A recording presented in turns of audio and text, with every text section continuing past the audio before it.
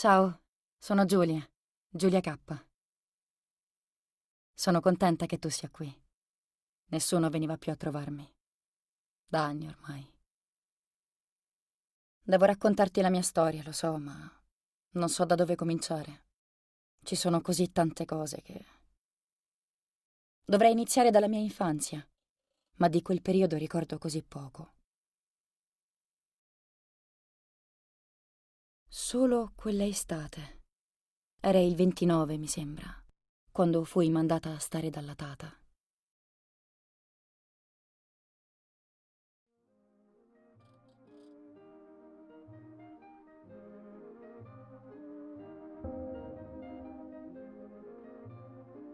Tata, mi racconti la storia della dama bianca? No, passerotto, non questa sera. Sta salendo la nebbia, vedi? Sì, lo so che la dama uccide le giovani donne quando c'è la nebbia, ma perché è così cattiva? Vedi, Giulia, la sofferenza e la paura ci spingono a fare cose cattive, anche se non siamo veramente cattivi. Come i soldati che uccidono gli altri soldati. Mi piace la dama, ho deciso, tata. Poverina, soffre così tanto, però continua a farmi un po' paura, sai? Io sarò presto una giovane donna e lei potrebbe uccidermi. Uccide anche chi le vuole bene. Certo che no. Allora io mi sento più tranquilla. Io le voglio bene. E mia sorella Marta è in pericolo. Marta è con la mamma. Puoi stare tranquilla. Ti mancano? No, cioè, sì. Mi manca un pochino Marta, ma con te sto così bene. Ora dormi, passerotto. Si è fatto tardi. Sì, tata. Dormo. Sognerò la dama. Era molto bella. Era molto bella, sì. Molto bella. Allora io la sognerò bellissima. E io sarò bella. Bella come lei. Tu sarei ancora più bella di lei. Senti, tata, visto che la dama non mi farà del male perché le voglio bene, e visto che tu non sei una giovane donna, mi potresti raccontare la sua storia anche se c'è la nebbia? Ti prego, dai, poi dormo, promesso. E va bene. L'hai sempre vinta tu, piccola peste.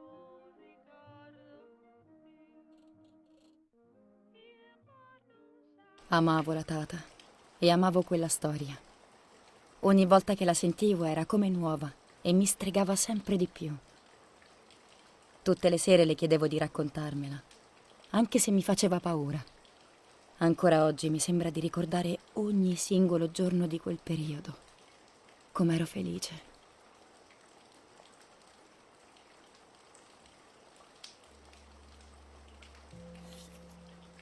Un'antica leggenda racconta che i laghi della zona sono abitati dallo spirito di una giovane donna, morta per mano dell'uomo che amava.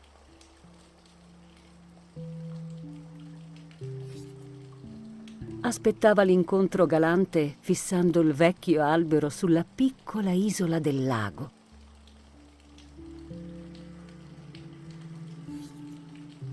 Il desiderio, le speranze, ma ad aspettarla c'era la morte, non l'amore.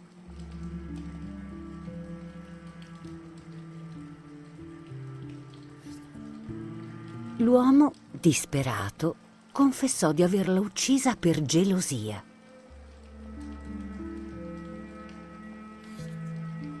E fu impiccato sull'isoletta dello stesso lago in cui l'aveva annegata.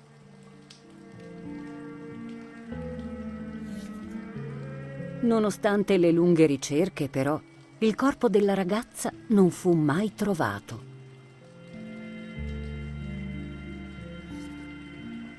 Da allora il suo spirito, conosciuto come la Dama Bianca, vive prigioniero nelle acque dei laghi, disperandosi per la perdita dell'uomo che amava e che ancora ama.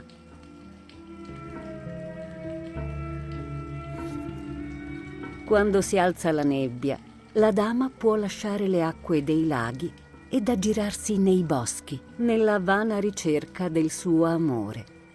I cacciatori raccontano di sentire i lamenti di una donna durante le albe nebbiose.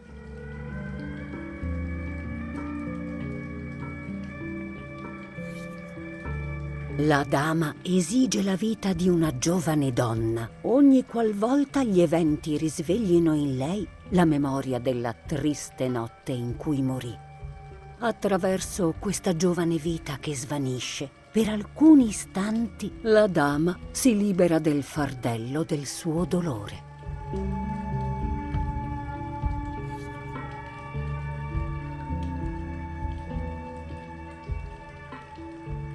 Buonanotte, tata. Buonanotte, amore mio.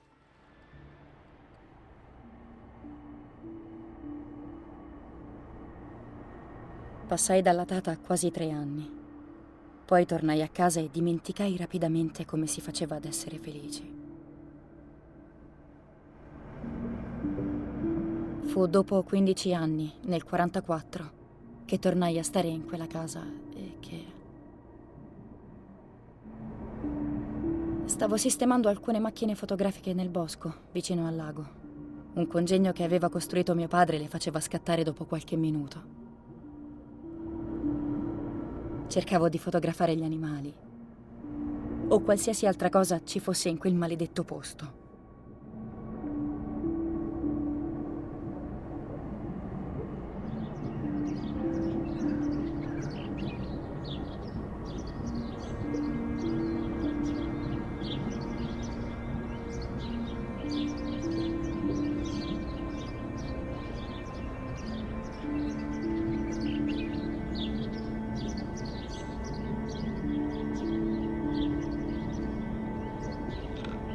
Arrotolare il rullino.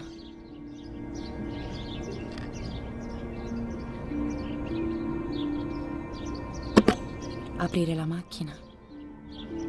Togliere il rullino vecchio.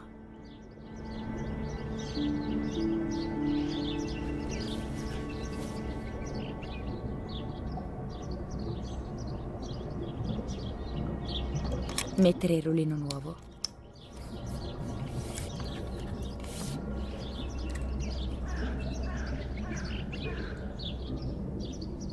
Chiudere la macchina. Caricare.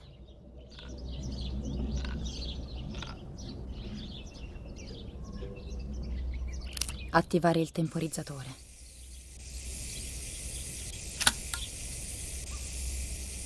Ci siamo quasi. Devo solo mettere a fuoco l'immagine.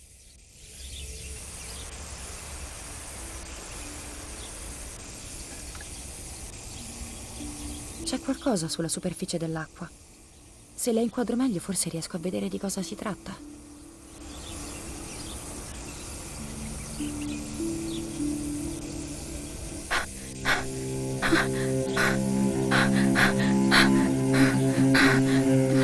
Ma... Ma... È una persona. Devo aiutarla.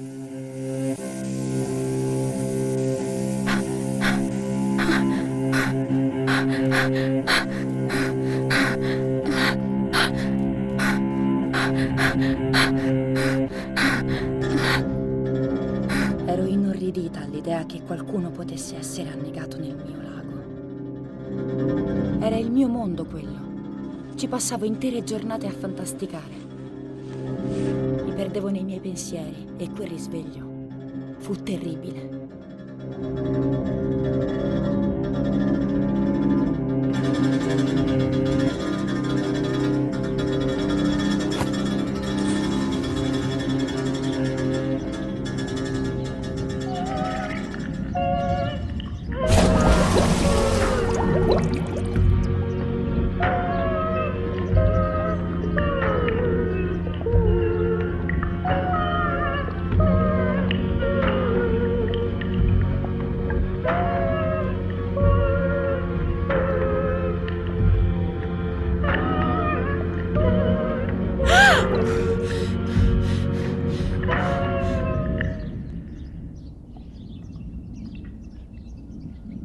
Notai subito che indossava un mio vestito.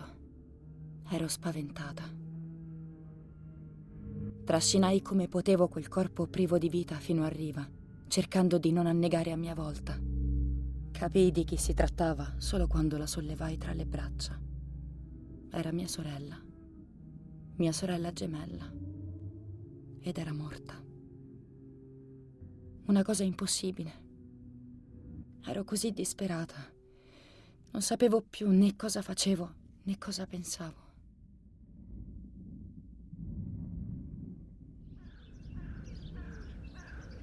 Devo stare calma. Marta non è morta. Non è possibile. Non è vero. Non c'è motivo di preoccuparsi.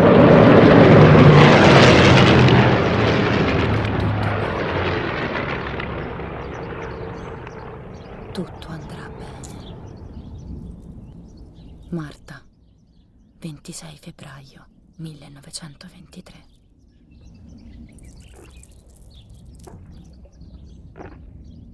Tutto bene? Ti sei fatta male?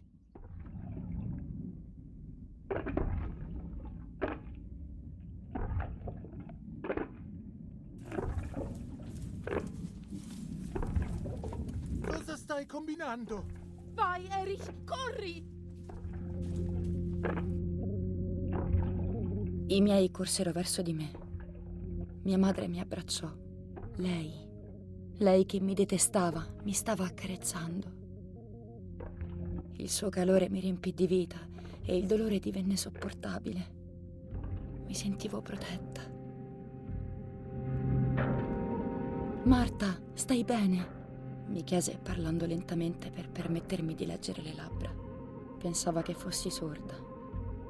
Pensava che fossi Marta. Non volevo far svanire tutto. Così feci timidamente cenno di sì con la testa. Non mi resi conto di aver imboccato una via senza ritorno.